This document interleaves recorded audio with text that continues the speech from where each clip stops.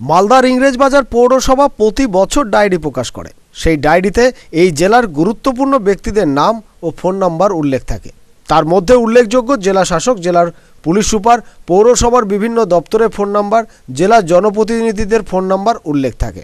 কিন্তু এবছর যে ডায়েরি প্রকাশিত হয়েছে, সেখানে তৃণমূল কংগ্রেসের রাজ্যসভার সাংসদ মৌসুম বেনিজুর নূরের নাম বাদ গেছে। এই নিয়ে রাজনৈতিক মহলে গুঞ্জন শুরু হয়েছে।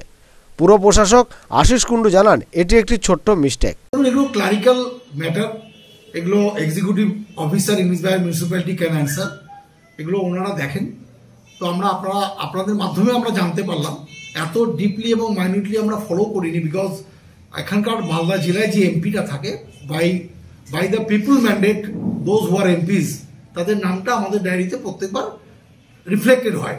তো আমাদের অবশ্যই আমাদের জেলার যেহেতু রাজ্যসভার এমপি রাজ্যসভার এমপি তো আমাদের সুগেন্দু শেখর রায়ও আছেন আমাদের কিন্তু যেহেতু উনি আমাদের জেলায় বসবাস করেন এবং সুগেন্দু শেখর রায় আমাদের জেলায় বসবাস করেন আমরা অবশ্যই এটা দিতে পারতাম কিন্তু আমরা এতটা ডিপলি আমরা মাইনরিটি ফলো করি এটার মধ্যে নতুন করে আলাদা কিছু খোঁজার কোনো চেষ্টা করার কোনো কারণ আছে বলে আমি মনে করি না। সেটা কি এই মিস্টেকটা কি শুধরে নেওয়া হবে কি বলব? না দেখুন ডায়েরি তো has been already published and already delivered to dignitaries as well as all medias all officials কেননা ডায়েরিটা আমাদের দেওয়া দিয়ে দেওয়া হয় বিফোর থার্টি ফার্স্ট মার্চে আমরা দিয়ে দিই। তো সেখানে যে কটা কপি আছে, সেই কপিগুলোতে আমরা আপনাদের মাধ্যমেই দেখলাম। কিন্তু গত বছরও ছিল না, তার আগের বছরও ছিল না যেহেতু, সেই কারণের জন্য এটা হয়তো ক্লারিক্যাল মিস্টেক হচ্ছে বাইরে কিছু না। না প্রিভিয়াস ডায়েরি গত বছরের ডায়েরি তো, নাম যেহেতু গত বছরের ডায়েরিটাকেই এবছর জাস্ট ফরওয়ার্ড করা হয়েছে। আমার কাছে যেটা তথ্য পেলাম। কেন ডায়েরি ব্যাটারগুলো তো আর একটা বোর্ড অফ অ্যাডমিনিস্ট্রেটর মেম্বার হিসেবে আমার ডিউটি না। এটা সাধারণত ক্লার্কসরা দেখেন। তো আমাদের চেয়ারপারসন জাস্ট ফরওয়ার্ড করতে বলেছিলেন। সেই কারণের জন্য এটা হয়েছে বাইরে কিছু আব্দুল রহিম বক্সি গনি মোহাম্মদ গনি এরা প্রত্যেকে গতবার ছিলেন না। তাদের নাম রয়েছে নতুন যারা এমএলএ নির্বাচিত হয়েছেন তাদের নামটা যোগ করা হয়েছিল। তাহলে মৌসুমটা হয়নি কেন? বললাম যে গতবারের জন্য যেগুলো এমপির ক্ষেত্রে যেহেতু যারা ছিলেন তাদেরটাকে ফরওয়ার্ড করা হয়েছে। আর রাজ্যসভার সাংসদদের ক্ষেত্রে সুখেন্দু শেখর রায় আমাদের মৌসুম বেনেজুর নূর এরা আমাদের জেলার রাজ্যসভার সাংসদ হিসাবে এমপি হিসাবে আমাদের গর্ব। আমরা আগামী যখন ডায়েরিগুলো হবে তখন অবশ্যই আমাদের নজরে থাকবে। অপরদিকে পৌরসভার কোঅর্ডিনেটর প্রসেনজিৎ দাস জানান এটি অন্যায় হয়েছে। উনি রাজ্যসভার সাংসদ মালদা থেকেই উনি আছেন। স্বাভাবিকভাবে উনিও একজন প্রতিনিধির কাজ করেন, মানুষের প্রতিনিধি হিসাবে।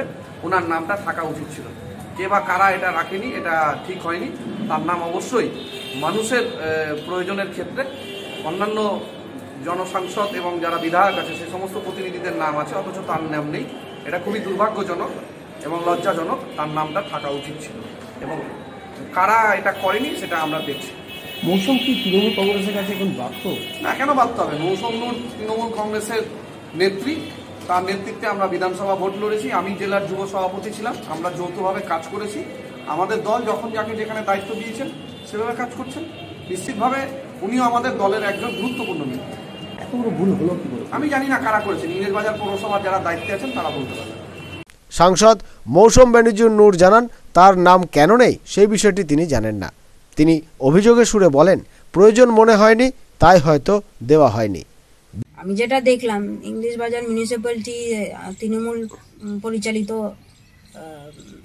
মিউনিসিপ্যালিটি এবং বিজেপির সাংসদেরও নাম আছে, কংগ্রেসের সাংসদেরও নাম আছে। তো তৃণমূলের রাজ্যসভার সাংসদের নাম নেই কেন, সেটা তো আমি বলতে পারব না, ওনারাই ভালো বলতে পারবেন। তো বিষয়টা কেন নেই সেটা তো আমি বলতে পারব না। ওনারাই যারা মিউনিসিপ্যালিটির যারা দায়িত্বে আছেন, ওনারাই ভালো বলতে পারবেন যে নাম নেই কেন।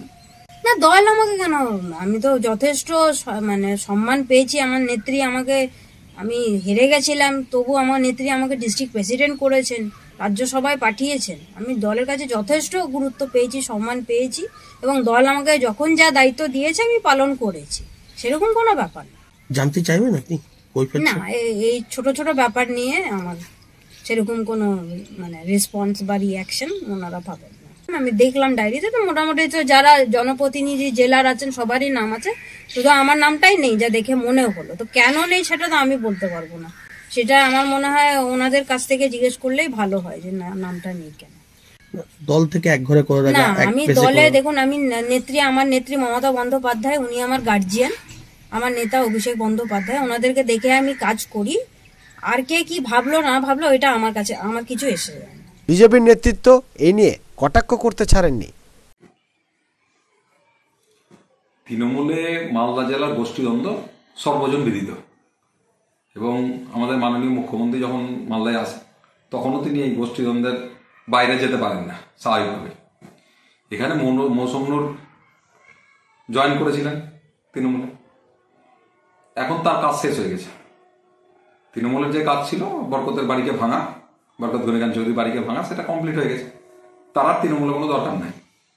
আর এখানে যে গোষ্ঠী, তৃণমূলের তিন চার রকম গোষ্ঠী। মৌসুম নূরকেও একটা গোষ্ঠীতে ফেলা হয়েছে এবং তিনিও যুক্ত হয়েছেন তার সঙ্গে। তো স্বাভাবিকভাবে যারা আজকে ক্ষমতায় আছে তৃণমূলের, তারা তার নাম বাদ দিবে, এটাই স্বাভাবিক। কারণ সমস্ত রাজনীতিটাতে প্রতিহিংসা। সেটা অন্য দলের সঙ্গে হোক নিজের মধ্যে হোক। এই প্রতিহিংসার রাজনীতি তো একমাত্র তৃণমূলের সম্পদ। তো স্বাভাবিকভাবেই ওনার নাম বাদ পড়েছে। এটাতে আমরা কোনো আশ্চর্য হয়নি কিছুই হয়নি মালদা থেকে দেবু সিংহ আনন্দ বার্তা